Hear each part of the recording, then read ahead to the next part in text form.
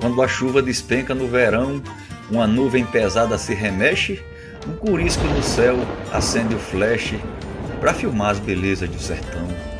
Um cadelo se esconde no oitão, um relâmpago derruba uma galhada, um matuto contempla a invernada, se ajoelha rezando no terreiro, eis aí o retrato por inteiro do sertão na primeira trovoada. Um rebanho de garça revoando na sangria que jorra de um açude, um guri na biqueira tira o grude, vendo o pai na janela festejando. Um cabrito na lama pinotando, escramuça feliz com a invernada.